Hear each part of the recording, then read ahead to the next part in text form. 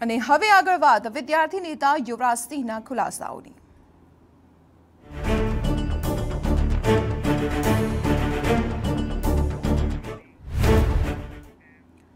Dummy ઉમેદવાર કૌભાંડ મામલે વિદ્યાર્થી નેતા યુવરાજસિંહ જાડેજા આજે પોલીસ સમક્ષ હાજર થશે. યુવરાજસિંહ જાડેજા આજે થોડી જ વારમાં ભાવનગર એસઓજી કચેરીમાં હાજર થશે, જેને લઈ એસપી ઓફિસ પર કડક બંદોબસ્ત ગોઠવી દેવાયો છે. ત્રણ પીઆઈ, ચાર પીએસઆઈ, પચાસ કોન્સ્ટેબલ, સોળ બોડી વોર્ન કેમેરા ગોઠવવામાં આવ્યા છે. પોલીસ સમક્ષ હાજર થતા પહેલા યુવરાજસિંહે ફરી એક વખત મોટો ઘટસ્ફોટ કર્યો છે. યુવરાજસિંહે ડમી કાંડમાં અનેક મોટા મગરમચ્છોની સંડોવણી હોવાનો આક્ષેપ કર્યો.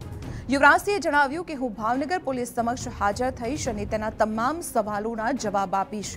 હું ડમી કાંડમાં મોટા નેતાઓ અને મંત્રીઓના નામ સાથે ખુલાસો કરીશ. યુવરાજે આક્ષેપ કર્યો છે કે નેતાઓની રહેમ નજર હેઠળ જ આ કૌભાંડ ચાલે છે અને તેમની પાસે આ વાત સાબિત કરવાના તમામ પુરાવાઓ પણ છે. પરંતુ જો એક આરોપી તરીકે મારે જવાબ લખાવવાનો હોય, તો નેતાઓના નામ આપું તેમના ડમી કૌભાંડની અંદર અત્યારે ભાવ જે વિદ્યાર્થી નેતા છે, યુવરાજસિંહ, તેને પોલીસ સમક્ષ નિવેદન માટે બોલાવવામાં આવ્યા છે. ત્યારે ભાવનગરના ભીડ ભંજન ભંજન મહાદેવ જે છે, ત્યાં અત્યારે દર્શન કરવા માટે યુવરાજસિંહ આવ્યા છે અને થોડી વાર પછી બહુ મોટા ખુલાસા કરવાની વાત છે અને પોલીસ સમગ્ર ઘટના છે, જે નિવેદન છે, પોલીસના સવાલના જવાબ આપશે. ત્યારે અમારી સાથે જોડાયા છે યુવરાજસિંહ, સીધી તેમની સાથે વાત કરશું. યુવરાજસિંહ, આજે જે તમને સમન્સ આપ્યું છે બાર વાગ્યા સુધીનું. તો શું તમારે પોલીસ સામે શું તમે ખુલાસો કરવાના છો? અને તમે એવું પણ કીધું છે કે અમુક મંત્રીઓ, પૂર્વ મંત્રીના નામ જાહેર કરવા. તો કોણ છે મંત્રી અથવા શું છે? ખાસ કરીને વર્તમાનમાં જે પરિસ્થિતિ છે ડમી કાંડને લઈને, ડમી કાંડને લઈને મને જે અત્યારે એસઓજીનું જે તેડું આવેલું છે ભાવેણ એમાં જે પણ એના પ્રશ્નો હશે પહેલાં તો, એ પ્રશ્નના આધારભૂત એની પાસે માહિતી હશે તો હું એના સીધા જવાબ દેવાનો છું.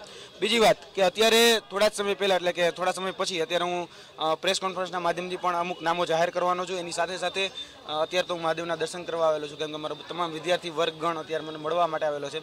અને મહાદેવના આશીર્વાદ લઈ અને જે પણ પ્રક્રિયા છે એને હું આગળ વધારીશ. એવું લાગી રહ્યું છે કે આપની અટકાયત કે ધરપકડ થઈ શકે. આપ કેટલા નિશ્ચિંત છો? એ સર્વસત્તાધીશ છે અને કરવી હોય તો કરી શકે છે. એમને માટે એને પાસે એની પાસે એવા કોઈ કાયદાકીય હું એવું નથી માનતો કે એ કોઈ રીતે સીધી લીટીમાં ચાલે. એ કોઈ પણ આડી રીતિમાં ચાલીને પણ એ લોકો કરી શકે. કારણ કે આની પહેલા ભૂતકાળના મને અનુભવો રહે છે. ખોટી રીતે ત્રણસો સાત દાખલ કરવી ખોટી રીતે અટકાયતો કરવી ખોટા નજરકેદ રાખવા ઘણું બધું થઈ ગયું અમે એવી પણ ગઈકાલે વાત કરી કે અમુક જે માહિતી છે ડમી કૌભાંડને લીધે વધુ લોકો કેટલા બધા સંડોવાયેલા છે. હજી આની અંદર આ તો શરૂઆત છે. ખૂબ મોટી સંખ્યા થઈ શકે તેમ છે. તો એ પોલીસ સમક્ષ તમે બધી ડિટેલ આપશો પોલીસને કે હજી નહીં? ચોક્કસ સમયે, આ સમયે મારે ડિટેલ આપવી પણ જરૂરી છે, કેમ કે હું એવું માનું છું કે વર્તમાનમાં જે ડમીકાંડનું પ્રકરણ ચાલી રહ્યું છે ખાલી છત્રીસ નામ જે સામે આવ્યા, પછી આખી પ્રક્રિયા એક એક એક જગ્યાએ સ્ટોપ થઈ ગઈ. પરંતુ જે ખરેખર પકડાવવા જોઈએ એ લોકોને હજી સુધી પકડા નથી. એટલે જે ખાસ કરીને એક વ્યક્તિને છોડી પણ દેવાયો કે ભાઈ, જેને સાત પરીક્ષા આપી હતી, ગુગા કરીને જે હતા, તેમને છોડી દેવામાં આવ્યા છે, ગુગા બારૈયા કરીને. તો અમે પ્રયત્ન કરીએ છીએ કે શા માટે છોડી દેવામાં આવ્યા? છેલ્લો સવાલ સમગ્ર ઘટનામાં અત્યારે નિવેદન આપવા માટે તમને બોલાવ્યા છે અથવા જે કોઈ પોલીસની કાર્યવાહી છે તે એક જ સવાલ ઉપર છે કે યુવરાજસિંહે તોડ કર્યો છે. એમાં નિર્દોષ કેટલા અને વાસ્તવિકતા શું? ખાસ કરીને મને જે તે મારું નિવેદન લેવા માટે બોલાવ્યા છે એમાં એક સ્પષ્ટ છે. જો નિવેદન ત્યાં પણ લખવાનું છે તો નિવેદન હું અત્યારે પણ કહી દઉં. મેં કોઈ પ્રકારનો તોડ કર્યો નથી અને કોઈ પ્રકારના આર્થિક વ્યવહાર એ કોઈ પણ સાથે કર્યા નથી. આ હતા યુવરાજસિંહ. તેમનું સ્પષ્ટ કહેવું છે કે તેમણે કોઈ પણ પ્રકારનો તોડ કે આર્થિક વ્યવહાર નથી કર્યા અને જે સત્ય હકીકત છે તે પોલીસ સમક્ષ રજૂ કરીશ. Ajit Gadhvi, TV nine, Bhavnagar.